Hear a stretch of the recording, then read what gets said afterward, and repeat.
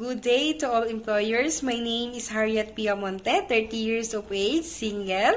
I am a working student in my 4 years experience as household here in the Philippines. I do household chores like cleaning, cooking, ironing, doing laundry, and taking care of newborn baby. In my second employer, I have 2 years experience. I also do household chores and taking care of two children. I am a hardworking, dedicated, and willing to learn the task given. If you will hire me, I will do my best to do my duty and I promise to finish my contract and to work with you as long as you need me. I hope you will choose me as your helper. Thank you and God bless.